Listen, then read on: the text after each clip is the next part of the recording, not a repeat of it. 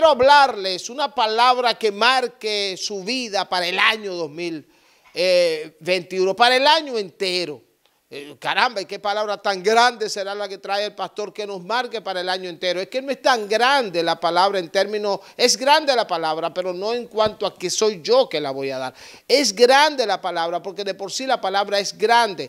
Y yo quiero que se fije en tu mente esta, lo que quiero hablar, porque quiero hablar de en el tiempo de Dios y a la manera de Dios. Es el tema que quiero tratar con ustedes en este mes. Primer, nuestra primera predicación de este año. En el tiempo de Dios y a la manera de Dios. Porque, ¿Por qué hablamos este tema? Porque muchas veces nosotros actuamos de, de una manera medalaganaria y el cristiano no puede actuar medalaganariamente, o sea, según me dé mi deseo y mi voluntad porque el cristiano no es, el, el cristiano tiene que ser guiado por el Señor. Entonces el cristiano tiene que obedecer. Hace unas semanas varios hermanos dieron unos mensajes poderosos en la iglesia sobre la obediencia. Y si hablamos de obediencia, entonces tenemos que someternos al tiempo de Dios y a la manera de Dios. O sea, que hagamos las cosas en el tiempo de Dios, que le permitamos a Él obrar dentro de su tiempo y a su manera. Y vamos a ver algunos ejemplos bíblicos y ejemplos seculares también de personas que han actuado dentro del tiempo de Dios y Dios los ha prosperado y otros que han actuado fuera del tiempo y fuera de la manera de Dios. Si nosotros actuamos según nuestra, nuestras voluntades, nuestro apetito, nuestro deseo, entonces las cosas nos pueden salir mal y lo vemos en el pueblo de Israel que se presentó, se le presentaron situaciones muy especiales. ¿Y por qué este tema? Porque estamos en medio de una crisis. Estamos en un año donde las dos palabras principales de este año han sido pandemia y confinamiento. Aquí no se usa tanto el término de confinamiento en Dominicana, pero es el término que mundialmente es la palabra mundial. Yo estaba viendo, investigando, y la palabra mundialmente más usada este año, eh, eh, perdón, 2020, fue la palabra confinamiento. Y aquí en Dominicana la palabra pandemia, esos dos términos en gran parte del mundo o en el mundo entero han sido los términos de este año 2020 que acaba de finalizar. Entonces nos encontramos a las puertas y el año 2020 lo, lo recibimos con tanta alegría, pero no sabemos que iba a ser un año tan incierto.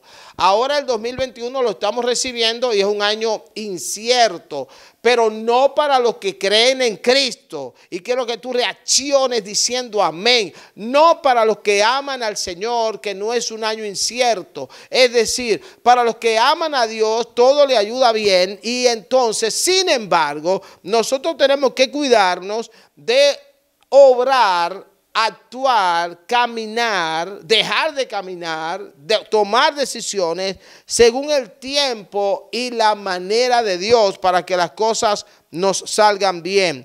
En el libro de Deuteronomio vamos a leer algunos versos de eh, Deuteronomio capítulo 1, versos 41 y 42. Deuteronomio 1, 41 y 42.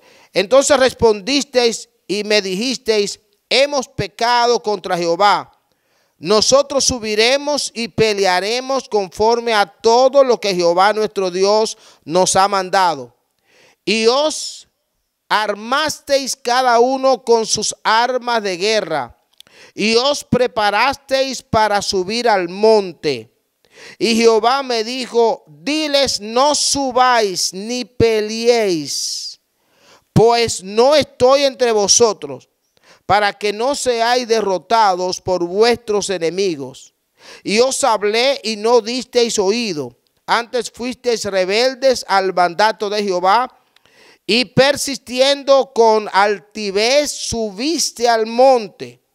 Pero salió a vuestro encuentro el amorreo que habitaba en aquel monte y os persiguieron como hacen las avispas y os derrotaron en Seir hasta Orma y volvisteis y llorasteis delante de Jehová, pero Jehová no escuchó vuestra voz ni prestó ni os prestó oído. Aquí estamos ante una situación del pueblo de Israel que no le prestó atención a lo que Dios había hablado y creyeron que iban a vencer de, de manera segura pero Dios le había dicho que no peleen, no peleen, no peleen porque yo no estoy con ustedes. Dicho si fuese al estilo dominicano, no te metas en eso porque te va a ir mal. Yo no estoy, yo no estoy con ustedes. ¿En qué contexto se escribe, se proclama, se dan estas palabras? Esto, esto viene después de la misión de los espías, de los que fueron a reconocer la tierra. De por sí, aquí hay un evento donde Moisés eh, no habla a la manera de Dios, no actuó a la manera como Dios esperaba que lo hiciera. Podemos comenzar con el mismo Moisés más que con el pueblo, porque lo que dice el libro de Deuteronomio, esta es la parte donde ya, ya están listos para poseer la tierra ya están viendo la tierra, ya están viéndola de lejos, ya están listos para poseer la tierra. Deuteronomio capítulo 1 habla en el, desde el verso 19, el título es Misión de los doce espías. es decir, ya Dios le dice, Mira lo que dice el verso 21. Mira, Jehová tu Dios te ha entregado la tierra. Sube y toma posesión de ella, como Jehová el Dios de tus padres te ha dicho. No temas ni desmayes. Oye, ¿cuáles fueron las palabras del Señor? No temas ni desmayes, porque ya Dios te ha entregado la tierra. Sube y toma posesión de ella. Y, entonces, pero oye un obstáculo que se permitió eh, eh, este hombre, Moisés. Y vinisteis a mí todos vosotros y dijisteis, enviamos, enviemos varones delante de nosotros que nos, menos, que nos reconozcan la tierra y a su regreso nos traigan razón del camino por donde hemos de subir y de la ciudad de donde hemos de llegar.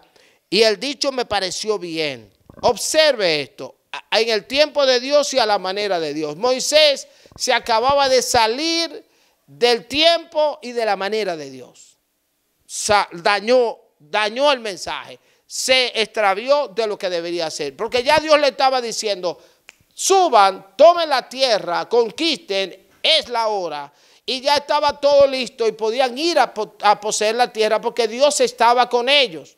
Sin embargo, Moisés se dejó, se dejó llevar del pueblo que vino y le dio palabras. Yo siempre digo que los líderes tenemos que oír al pueblo, al liderazgo y al pueblo. Sí, hay que escucharlo, pero a sabiendas de qué es lo que Dios te ha dicho antes, qué es lo que ya Dios te dijo. Por eso algunas cosas que alguno pueda decirnos, si yo siento que va contra lo que yo, Dios me dijo, yo con todo respeto no le voy a hacer mucho caso porque si lo que Dios me dijo es esto, yo quiero obedecer a Dios antes que a los hombres. Claro, uno escucha a las personas y yo soy de los líderes que más escucho a mis líderes, a los hermanos de la iglesia, pero a sabiendas qué es lo que Dios te dijo. Ah, nosotros vivimos eso, tuvimos un tiempo de incertidumbre y, los líderes diciendo, ¿qué vamos a hacer, pastor? Se nos está quedando, eh, no tenemos espacio, se nos van los lugares, ¿qué vamos a hacer? Pero cuando Dios habló acerca del edificio, pasó un tiempo y hasta que Dios no me convenció de que es la hora, yo no di el paso. Ahora, cuando di el paso, eh, usted sabe la historia, ya nosotros vamos hacia siete años de haber adquirido ese lugar. En este año cumpliremos siete. ¡Uh! ¡Gloria a Dios! Estamos hablando de que para tres, diez años que faltan, para los diez años que asumimos, mira por dónde vamos. ¡Gloria a Dios! Y estamos en un lugar de expansión que cuando digamos vamos a expandirnos, tendremos un local sumamente amplio. O sea, eh, eh, Dios nos dirigió y salió todo bien, porque cuando obramos, si les digo de tantas otras ocasiones que yo actué a mi manera y salieron las cosas mal, llegamos a, gastar dinero en proyectos y me salieron y nos salieron las cosas mal y nos salieron porque no era el plan, no estaba, pero a veces uno no sabe qué hacer. Señor, ¿qué es lo que tú quieres hacer? Finalmente, ¿por dónde vamos? Así mucha gente pierde de vista el objetivo, el propósito de Dios y se mete en enamoramiento, se hasta se desligan de la iglesia, se desconectan de sus líderes para que nadie se meta con esa relación que yo quiero tener. Y luego las cosas les van mal y de repente se quedan como sin tener a dónde ir porque el que estaba cubriéndote tu cobertura le diste la espalda. De repente yo siempre digo que yo no voy a comprar ningún carro por más barato que sea, no lo voy a comprar sin que mis, asesores de vehículos me digan que ese vehículo es digno, y vale la pena. Si me lo regalan, eso yo no lo voy a discutir. Y si me lo venden en dos mil pesos, tampoco lo voy a discutir. Dámelo, no hay problema. Pero ningún carro me lo van a vender en dos mil pesos o más bien me lo regalaran. Y si me lo regalan, yo no lo discuto. Pero si voy a hacer una inversión, yo siempre voy a preguntarle a los que saben de carros en la iglesia y por más barato que sea, quiero saber qué dicen ellos. Entonces muchas veces nosotros tomamos decisiones sin la dirección del Señor. Este fue el caso de Moisés. Él ya con todo listo y Dios diciéndote, es para adelante que vamos, dale para adelante. Y él oye a, los que vinieron, no, pero vamos a mandar espías para que reconozcan la tierra. Ah, me parece bien. Vayan y reconozcan la tierra. Pero esa fue una falta de fe de parte de Moisés, porque Moisés lo que hizo fue crearse graves problemas con esos 12 espías, la mayoría de los cuales vinieron dando palabras negativas, diciendo esa tierra está llena de gigantes, ahí hay riqueza, sí, pero esa gente nos va a desbaratar a todos, nos va a acabar. Pero ¿por qué hablaban así? Si, si Dios les mostró, inclusive Moisés le habla, pero ven acá, Dios está haciendo milagros con nosotros desde Egipto. Y les recordó la columna de nube, la columna de fuego. Dios está haciendo milagros desde Egipto hasta ahora. Ustedes saben que Dios está obrando. Ustedes saben cómo esa gente quería matar a los que de, de, 12, dos, Josué y Caleb trajeron buenas noticias y dijeron, nosotros podemos, nosotros podemos. ¿Por qué ellos decían que podemos? Porque estaban dentro del tiempo y el propósito de Dios, dentro de la forma y dentro del tiempo de Dios. Dijeron, sí podemos, claro que podemos. Cuando las cosas nos salen bien es cuando nosotros obramos de acuerdo al propósito. Si te adelantas, lo dañas. Si te atrasas, lo dañas. O sea, si en el momento que Dios nos dice, tomen el local, llegó el momento, nosotros nos detenemos, ahí viene, se hubiera perdido, lo hubiéramos perdido el local y hubiéramos fallado y ahora estuviéramos pensando, ¿qué será? ¿A dónde vamos? O tuviéramos un lugarcito chiquitito sin futuro, porque el que tenemos es grande para el futuro, y el presente y para el futuro, para expandirnos. En otras palabras, si actúas fuera del tiempo, es decir, después que Dios dice actúen o antes de que Dios dice actúen, tómalo en cuenta por Dios. Tómalo en cuenta para casarte, para tomar carrera, para tomar empleo, para tomar profesión, para comprar el carro, para comprar la casa. Tómalo en cuenta para todo. Lo que Dios te diga es determinante. Es importante decir yo creo en la palabra profética, pero tiene que saber que ninguna palabra profética desplaza la fe. Yo creo en que Dios habla y hace uso de a, nosotros mismos, nos usa para darte una palabra profética, usa a otros hermanos que ni te conocen y te dan una palabra profética, pero tú no puedes depender solo de que alguien venga y me dé una palabra profética, porque aún esa palabra sea hermosa, tiene que contemplarla, compararla con lo que Dios ha dicho. Así que si alguien me viniera y me dijera, Dios te tiene las naciones para que pastorees en una nación muy grande donde vas a ser extraordinariamente, yo no me voy a mover por eso, porque Dios no me ha dicho eso. Y si alguien me lo dice de parte de Dios, yo tengo que estudiar esa palabra, pedir confirmación, orar, tomar tiempo para clamar y decirle, Señor, háblame. Y lo enfatizo, creo en la palabra profética, pero la palabra profética ni desplaza mi fe ni los propósitos de Dios. No, yo tengo que depender primero de Dios. Y la palabra es, valiosa, la que me han dado, pero la contemplo, la comparo con el plan original de Dios. Y el plan original del Señor para mí fue que yo estuviera aquí en San Pedro y hasta que Dios no me dijera a Él mismo, o a través de un profeta, pero que yo pueda confirmar que me vaya de aquí, yo no me iré porque Dios me puso en este lugar. Entonces, cada uno de nosotros tiene que pensar en los ejemplos de los hombres de Dios, cómo cometieron graves errores.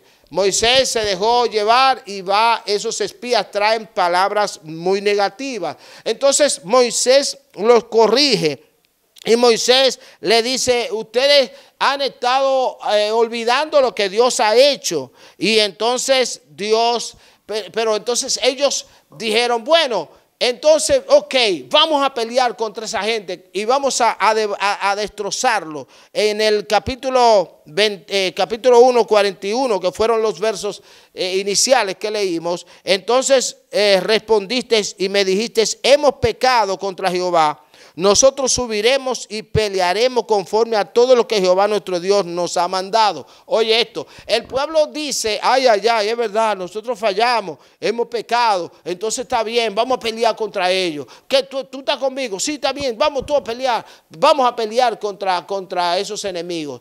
Pero ya eso ahí es como una especie de tranquilizar al viejo para que vean que nosotros estamos en, en obedecer. Pero obedecer qué? Porque Dios no estaba de acuerdo con ellos. Y entonces, y os armasteis cada uno con sus armas de guerra y los preparasteis y os preparaste para subir al monte. Y Jehová me dijo, diles, oye lo que le dice Jehová, dile a esa gente, no subáis ni peleéis, pues no estoy entre vosotros para que no seáis derrotados por vuestros enemigos. Ahí salieron, estaban fuera del tiempo y fuera de la manera de Dios. Y Dios le dice, no se metan, le va a ir mal, no peleen, no, no se metan a pelear, no cuenten conmigo. Entonces, pero salió a vuestro encuentro el amorreo que habitaba en aquel monte y os persiguieron como hacen las avispas y les derrotaron, en otras palabras, y luego volvieron llorando. Oye, volviste y lloraste delante de Jehová, pero Jehová no escuchó vuestra voz ni os prestó oído. ¿Cuántas veces nosotros nos quejamos de que Dios no nos escuchó habiendo desobedecido al plan, habiendo hecho lo que no procedía? tomando decisiones fuera del marco de la voluntad de Dios. Luego nos van mal las cosas y luego entonces nosotros eh, queremos atacar a Dios. Decir que por culpa de Él cuando Dios dice, pero yo no te mandé a hacer eso, yo no te mandé a, a dejar de hacer. Yo no te dije que dejara de hacer, yo te dije haz o no te dije que no que hagas, te dije no hagas. Entonces, tenemos que obedecer. Así que aquí encontramos un caso de un pueblo que estaba obrando a la manera de ellos, no a la manera de Dios. Y eso eso fue una derrota que ellos pudieron haberse evitado. Ellos pudieron haber evitado esa derrota. Pero en la, en, la Biblia encontramos muchos otros casos de, de derrotas y de victorias de ese tipo, porque la verdad es que el pueblo de Israel se metió en muchas ocasiones en, en, eventos que Dios no lo había mandado a que se metieran y eso, eso nosotros lo vemos muy frecuentemente. Vamos a ver eh, un caso distinto ahora. En el libro de Segunda de Samuel, capítulo 5, encontramos a David. David eh, proclamado como rey de Israel. Vamos a ver ahora un caso diferente. Un caso en el que David obró de acuerdo al propósito y al tiempo de Dios. Recuerden que el mismo David, con toda su unción y el poder y la obediencia y todo, obró en ocasiones de manera indebida. Una de ellas fue cuando quiso traer el arca del pacto a, su reino, acabado de tomar el gobierno, y quiso traer el arca del pacto, muy buena iniciativa, pero no de la manera como Dios había preparado. Podríamos decir que estaba dentro del tiempo de Dios, pero, pero no obró a la manera de Dios. Es importante decir eso. Podríamos estar dentro del tiempo de Dios y obrar a la manera inadecuada un muchachito joven, una muchacha joven que ya siente que se va quedando, puede decir yo quiero meterme en un amor, yo quiero meterme en un marido, yo quiero tener un hogar y de repente se puede meter en el tiempo todavía apropiado, pero de mala manera. El, hombre y la mujer de Dios no actúa así. El hombre y la mujer de Dios analiza, piensa, Señor, dirígeme, ¿qué tú quieres? ¿Para dónde tú quieres que yo vaya? ¿Qué debo de hacer? ¿Qué dejo de hacer? ¿Y qué debo de hacer? ¿Qué debo dejar de hacer? ¿Cómo lo hago? Porque nosotros vamos a obrar en el 2021. ¿Cuántos dicen amén? Por lo menos esa es mi oración. Señor, permíteme, dirígeme para obrar, para actuar de acuerdo al tiempo de Dios y a la manera de Dios. Escriba eso, por favor, a la manera de Dios y en el tiempo de Dios. David, ahora, eh, primera de Samuel capítulo 5, nos encontramos con, con David, que es proclamado rey de Israel. El, ya, ya David había sido ungido eh, dos veces Ahora, vi, pero todavía no estaba y ya habían pasado más de siete años y todavía David no había asumido el control. Los ancianos del pueblo fueron a Hebrón y buscaron a David y le dijeron, mira, Jehová te ha dicho, tú apacentarás a mi pueblo Israel y tú serás príncipe sobre Israel. Así que, vamos, toma el control, toma el dominio. Eh, y David era de 30 años. Oye, que dice primera, segunda de Samuel capítulo 5. Era David de 30 años. Acuérdense que David es un prototipo de Cristo. Y Cristo comenzó su ministerio a los 30 años. ¿No les parece? No es, no es coincidencia. Es que todo está fríamente calculado por nuestro Padre Celestial. Cristo comenzó su ministerio propiamente evangelístico, de desarrollo de líderes, de predicación del Evangelio, a los 30 años, justo 30 años tenía David cuando comenzó a reinar y reinó 40 años. Entonces David está ahora en el control, ahora toma el dominio, toma el control del gobierno del pueblo, pero lo primero que tiene es que tiene que tomar a Jerusalén.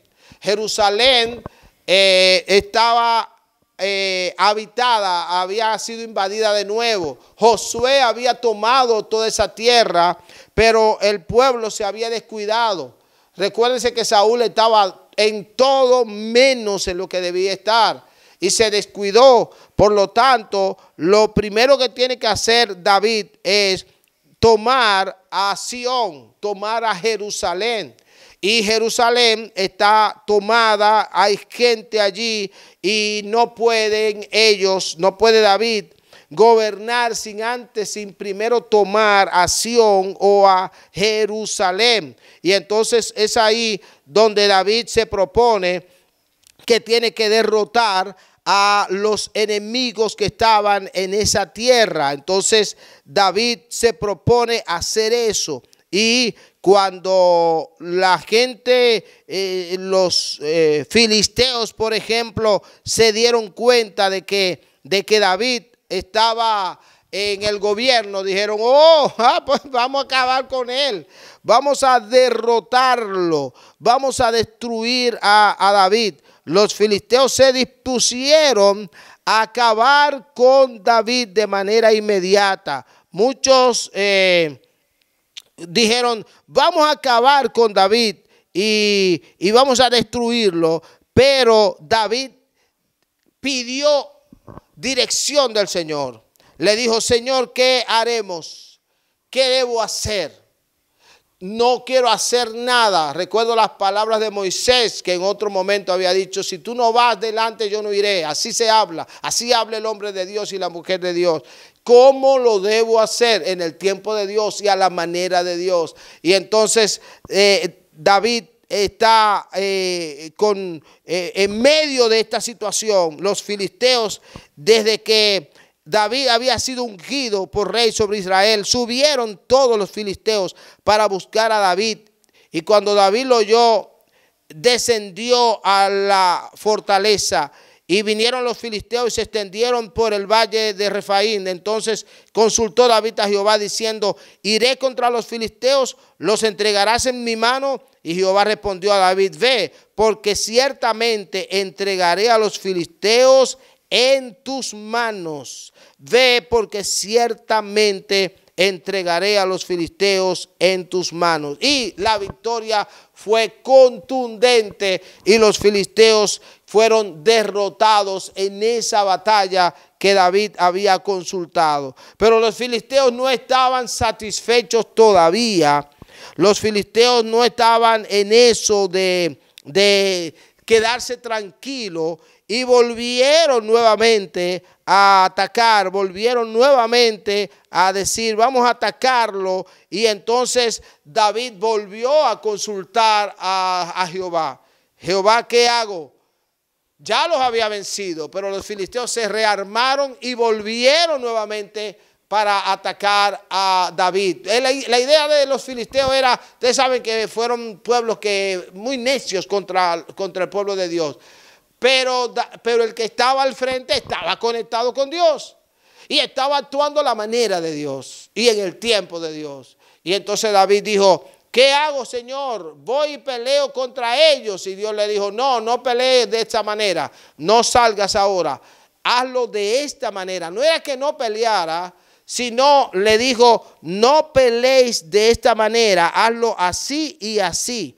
Y entonces los filisteos volvieron a venir y se extendieron en el valle de Refaín. Y consultando David a Jehová, él respondió, no subas, sino rodéalos y vendrán, vendrás a ellos enfrente de las balsameras.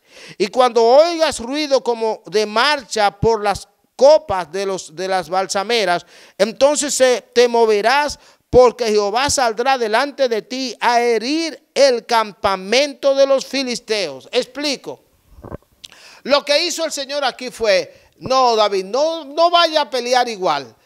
La otra vez tú fuiste de frente y los venciste, pero ahora no vayas, no, no salgas de esa manera. Ahora tú lo vas a rodear. Vas a ir a rodearlo, eso quiere decir, vas a ir por detrás de ellos. Así que vamos a suponer que ellos, ellos venían, para que me entiendan más fácil, vienen por, por eh, por la carretera desde, Juan Dolio para acá. Pero ahora David ahora iba a hacer lo contrario. Le iba a dar la vuelta, se iba a ir por el otro puente, iba a ir a salirle por detrás. Y cuando ellos eh, menos lo esperaban, oye lo que sucedió. Dios puso un sonido, Dios creó un sonido como de marcha de un gran ejército. Oye cómo lo dice. Y cuando oigas ruido como de marcha por las copas de las balsameras, entonces te moverás, porque Jehová saldrá delante de ti a herir el campamento de los filisteos. Y David lo hizo así, como Jehová se lo había manifestado, se lo había dicho, e hirió a los filisteos desde tal sitio hasta tal sitio. En otras palabras, los filisteos llegaron a escuchar, aleluya, un sonido de un ejército. Así que ellos estaban esperando, ellos estaban aquí esperando que desde Juan Dolio iban a venir eh, el pueblo hebreo y, de repente, pero, pero de repente, pero es un grupo pequeño. David apenas estaba tomando el gobierno, el pueblo estaba muy reducido, no tenía la capacidad de lucha y, y los filisteos lo sabían, pero no tenían en cuenta quién estaba de parte del pueblo de Dios. Amén. No estaban pendientes de quién estaba, ni sabían las estrategias de Dios. ¿Cómo la van a saber? Porque no, estaban conectados con Dios. Y, se, se, parece a los, a los que estamos en la carne. Si estamos en la carne no podemos agradar a Dios, ni saber lo que Dios nos está diciendo. Si Dios nos dice párate, no, no, no nos paramos. Si Dios nos dice siéntate, no nos sentamos. No obedecemos y ni cuenta nos damos que no estamos obrando de acuerdo al propósito de Dios. Y las consecuencias entonces no dejan de llegar y muy duras sobre los que actuamos de esa manera. Y todos lo hemos hecho, ¿eh? Yo lo he hecho. Todos hemos, hemos obrado fuera del marco de la voluntad de Dios. Algunos hasta han llegado a perder la vida, han llegado a perder posesiones, han llegado a perder ministerios porque obraron fuera del marco de la voluntad de Dios. Pero cuando obramos dentro, mira qué interesante. David dice, no, no, no, ¿cómo que va a ser? Ah, ok. Entonces, eh, cada uno de nosotros debería imaginarse la presión que debería sentir el pueblo, la gente para que David hiciera las cosas a su manera. Podría haberle pasado a David similar a lo que pasó con, Moisés. Eh, vamos a reconocer la tierra, mándanos, está bien, uno de cada tribu. La idea no estaba mal, pero lo que pasa es que no era necesario, no era necesario. Porque si ya Dios te dijo, toma la tierra, ¿qué hay que averiguar? Ya todo es falta de fe. Si ya Dios te dijo, adelante con el ministerio. Si ya Dios te dijo, procede entonces, tú tienes que saber que Dios te dijo. Claro está, tú tienes ministros alrededor de ti. Tú tienes líderes alrededor de ti. Tú tienes hermanos pastores que tienen que entender y que tienen que sentarte con ellos para no hacer la cosa sin dirección. Aunque Dios te haya hablado, entonces plantea lo que Dios te ha dicho y dale tiempo. Es difícil, la gente nos quiere dedicar un poquito de tiempo para ver cómo Dios me está dirigiendo y qué es lo que Dios quiere y cómo Dios quiere que hagamos las cosas. Pero David les fue bien. El pueblo filisteo creyó que eh, había un ejército grande. Estaba oyendo una marcha. Oye, eso lo dice, lo dice literalmente.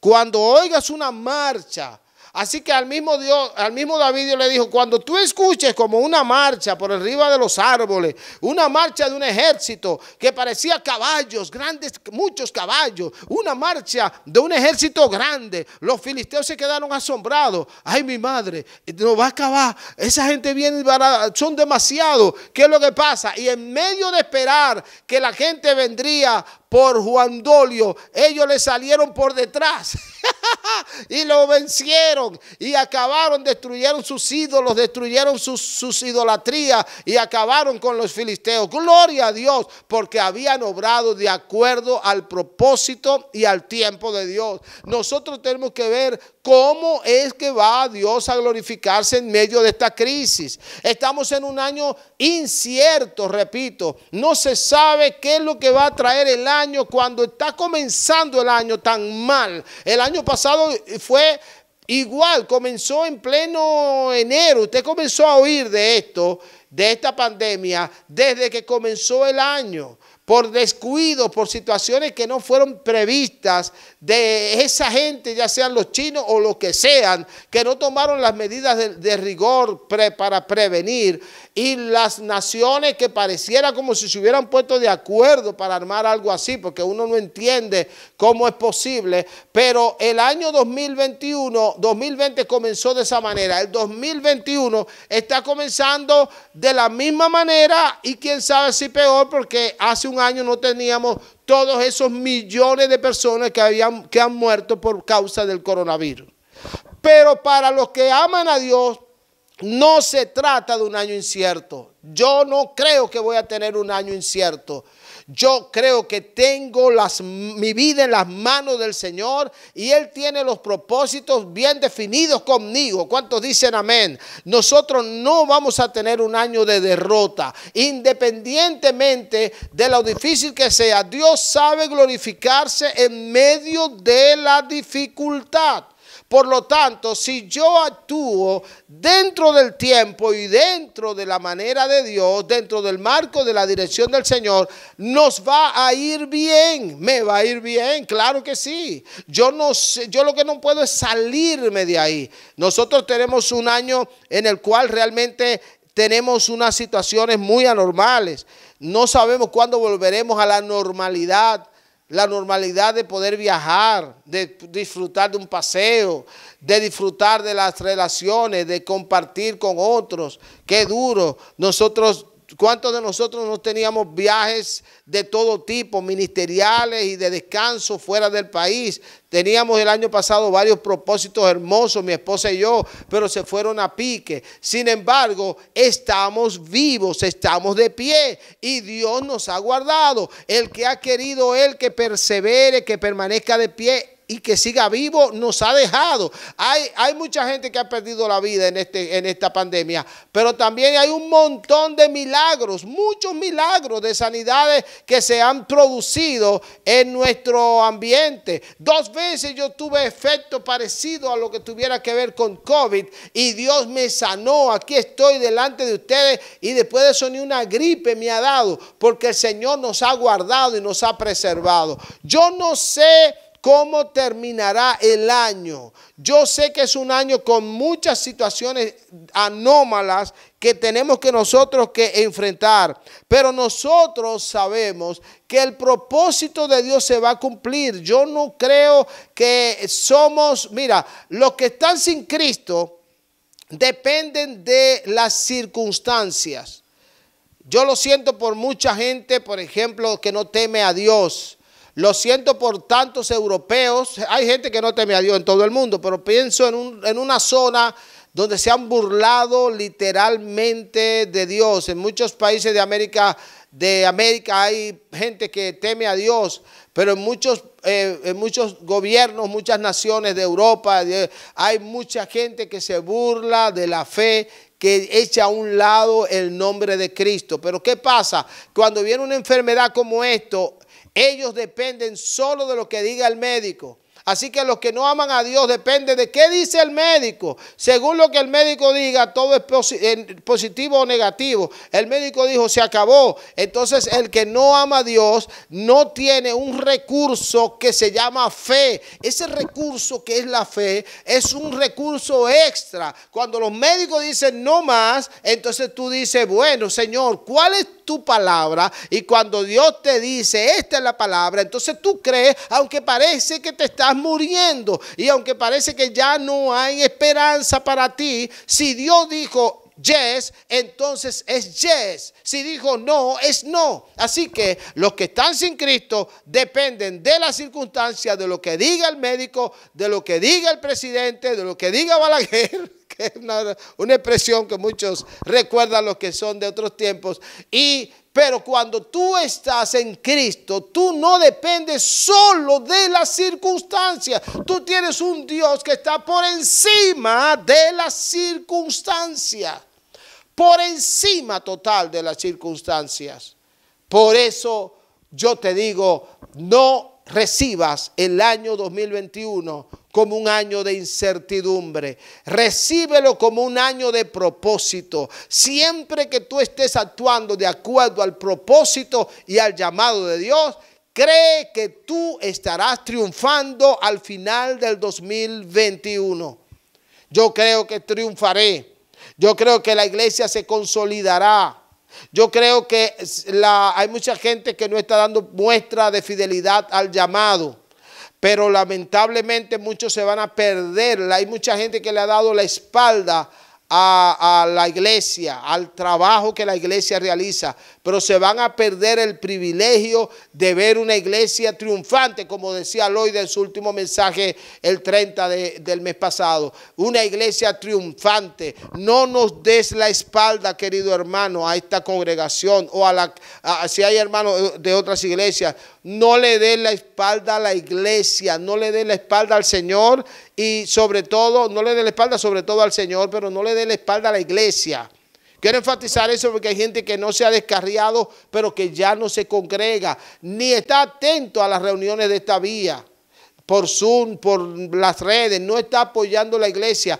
Pero ¿por qué? Si la iglesia es exactamente la, el instrumento que Dios usa para que se rescate al, al herido, se sane al herido, se liberte al cautivo. Hoy yo te pido darle apoyo a la obra de Dios que estamos realizando. Si estamos obrando de acuerdo al llamado, entonces ¿por qué te dejas de congregar? ¿Por qué te dejas de, unir a lo que estamos haciendo? Únete a lo que estamos haciendo y desarrolla una gran iniciativa personal. Busca la manera de compartir tu fe, busca la manera de extender el reino, busca la manera de hacer, tomar decisiones que expandan el reino de Dios. Pero recuérdate, mi trabajo es creer.